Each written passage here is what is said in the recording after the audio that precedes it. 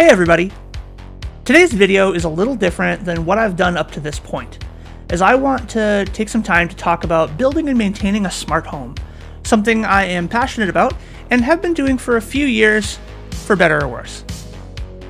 When I purchased my new home a few years ago, I was adamant that one of the things I wanted to do was really go down into the smart home rabbit hole, and it's a deep one. I had tried a few IoT devices in the past smart bulbs, smart speakers, but for the most part, I'd been unimpressed. But I knew that there was something to this. What I want to talk about in this video are the aspects that I took into consideration when deciding on hardware, software, and the methodology of building my smart home, and how those decisions did or did not work. And hopefully, these processes and considerations will help you to make sure that your smart home isn't, well, dumb. Who you calling pinhead? First off, why build a smart home? Well, a smart home is a solution, which means that there must be a problem. Our new home was quite a bit larger than our previous one, and it had way more switches. In fact, it had so many switches that the previous homeowner had not figured out what many of them did in all the years that they had lived here, which to me seemed absurd until I started counting. By my last count, there are 36 light switches in the house, and keeping track of which are which and where can be a bit of a chore. For example, the switch that controls the soffit lights on the back of the house is near a staircase in the center of the house. And while I want to move this switch to be physically near the exit, at least getting that switch labeled would be helpful, and controlling it via automation would allow me to at least control this switch from other locations to try and make it more intuitive. Another thing that led me to want a smart home was the lighting layout. Our kitchen has two rows of five can lights as well as pendants that hang over the kitchen island. On the first row, four cans were controlled by a four way switch pair. That is where there are three switches that can all be used to control the lights. This also controlled the pendant lights. Then, there was a three way switch that controlled a second row of four. As you may have noticed, that only accounts for 8 of the 10 can lights, and you'd be correct. The last two are controlled by yet another switch so there are six switches to control 13 lights in the kitchen. At least to me, this should logically just be two zones of lights instead of three the cans and the pendants. But the pendants are tied to the first rows of cans, so you can't control them separately without rewiring, which is expensive and intrusive. Or this could be done through the integration of some smart switches or smart lighting. So, when deciding that you want to build out a smart home, start with making a list of the problems that you want to address. Are you just looking to automate specific tasks to save time? Or are you trying to make a lighting circuit work in a different way? Or are there other problems that you want to solve? Some additional examples. Saving money with efficiency improvements, such as turning off the air conditioning if the windows are open, is another valid problem that a smart home could solve. The next thing I want to talk about is smart home adoption. So, you have some problems that you found, and you want to address these with a smart home. Now you can't wait to fill your cart full of smart home devices, but maybe your family or significant other is hesitant to give their blessing to take on this new project. A common mistake when first starting a smart home is to dive in too deep too quickly. It will take some time for you to get used to the platform that you opt to use. There will be some growing pains, and making those learning curves and growing pains everyone else's problem is a quick way to get asked to just remove all of the smart home devices. Start small. Take one of the problems that you have identified and decide how to address that one problem first. Once you have implemented your solution, take some time to see how it works. What are its shortcomings, and what can you take away from it to do better next time? When deciding which problem to tackle first, choose one that is in an area of the house that will have minimal impact while you implement the solution. Once you have learned the platform a little, and the family has started to adopt the solution successfully, the idea of expanding into the rest of the house, zone by zone, will be a much more comfortable conversation and one the family or your SO is hopefully more excited for. So, how do you decide what to smartify? Okay, so you've decided to tackle a problem, whatever it is, and now it's time to decide what you're actually going to replace with a smart device. Maybe you have a light that you want to control, so you find a smart bulb compatible with the light socket type. Is that the right decision? What's going to happen when someone flips the light switch and the smart light no longer turns on with your phone controls? So you have to get up and go flip the switch anyways. Now you have to hope that your smart bulb will remember the settings that you had applied to it when you reapply power. Are smart bulbs always the wrong decision? Well, no. They are an answer for some things, but not all things. When deciding on what you want to make smart, remember that a smart home is here to add features and add functionality to your home. It is never there to remove or replace it. If the only way that you can control something after making it smart is from your phone or a smart speaker, when previously it could be controlled from a physical control, you're making a fairly common mistake. And it's only a matter of time before this becomes a pain point, especially if at any point your smart home platform is down and now you can't control that device.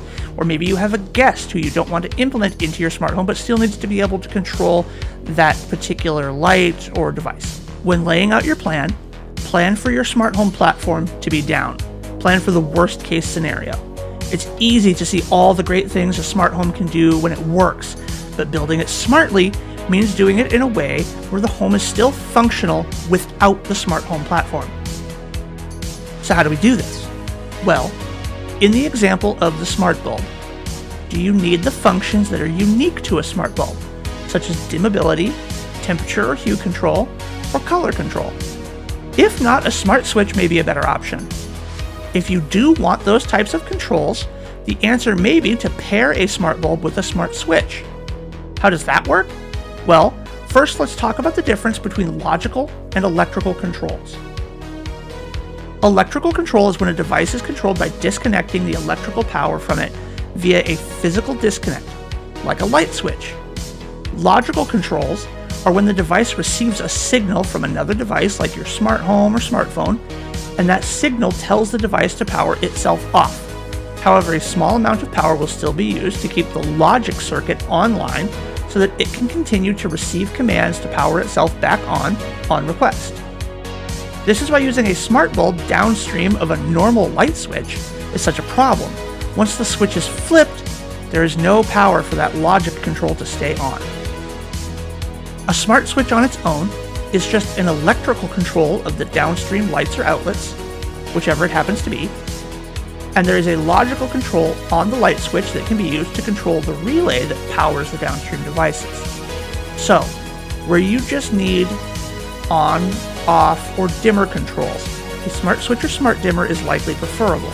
But as mentioned before, how do we use smart switches and smart bulbs together? Well, many smart switches feature a smart bulb mode. What this does is disables the internal relay and instead leaves power connected to the downstream bulb anyways. Now, you can use the logic controls of the light bulb to control them, and you can create automations to trigger when you use the physical buttons of the smart switch to turn the bulbs on and off. Now, how does this work when the platform is down? Well, there are two ways. First, if your switches have an easy way to switch between smart bulb and standard modes, if your platform is down, and those automations that link the bulbs to the switch are down, you can switch back to electrical controls. There are some extra steps here to set this up correctly. For example, you'll want to make sure that your smart bulbs turn on automatically when power is reconnected. The second way to do this is to use something like Zigbee groups or Z-Wave device associations, which allow devices to communicate directly with each other even if your platform is down. You will need to make sure your devices support this feature and that your bulbs and switches are on the same protocol, for example, Zigbee or Z-Wave. So what I did in the example of my kitchen from earlier was remove the three-way configurations from each set of lights, leaving only one switch in each entryway. Each of these switches electrically controls one section of the lights, as they were when we bought the house. However, I put in smart bulbs and smart cans throughout the kitchen, and now when I press one of the light switches in any of the three locations, all my kitchen lights turn on, and a double press will turn on just the pendants. In the case that my smart platform is offline, I can tap on any of these switches 10 times to put them back into standard electrical controls and then control each of these relevant electrical zones, just like when we bought the house. However, I am likely to switch these switches out for Zigbee switches in the future so that I can use that Zigbee grouping that I was talking about earlier and group the lights to the controls on the wall. All that is to say, anytime you implement a smart home automation or device, it should be to add functionality. In the case of my kitchen, I have simplified the controls of the lights, but done so in a way that it is intuitive for my family or guests to be able to operate. But that doesn't leave us stranded if something isn't working. So, what platform do we use? Throughout this video, I've said smart home platform more times than I care to, so let's get into that. The platform you decide on is where and how you intend to control your smart home. Not all smart devices are cross compatible, and there are so many protocols out there that you can use to control things.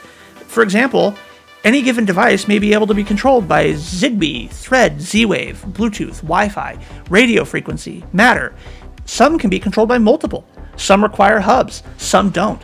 What should you be looking for? Well, First, decide on a controller. My controller of choice is Home Assistant, which is a self hosted platform that you can integrate all of your platforms into. It's robust and feature rich with the ability to add most other platforms. However, you could also opt to control everything from Apple HomeKit via a Home Hub or an Apple TV, or you could buy another of the myriad of smart home hubs on the market. Once you've decided on your controller, note what protocols it can handle what devices they list as compatible, and use this list to drive your purchasing decision. There's nothing worse than finding out you bought a smart device that doesn't support your hub, and it has to be integrated via a different hub or controller, and now you have multiple controllers that you have to link together in software, creating a bunch of extra failure points. Again, this is why I like Home Assistant. I can add the protocols that I want to use via dongles, but it's not for everyone. The next thing on your checklist should be devices that can be controlled locally. What do I mean by this?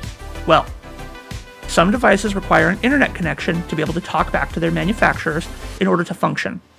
These types of devices are riddled with potential problems. What if the internet's down?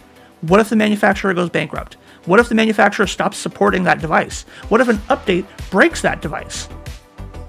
For this reason, I prefer protocols like Zigbee and Z Wave that do not require a network connection at all beyond for being controlled and communicating over local direct communication.